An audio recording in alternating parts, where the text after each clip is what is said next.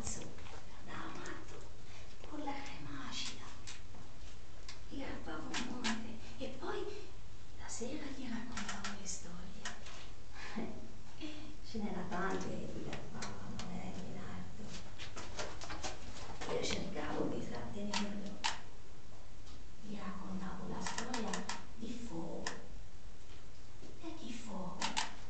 E un volesse soggetta all'acqua. E non gli veniva bene.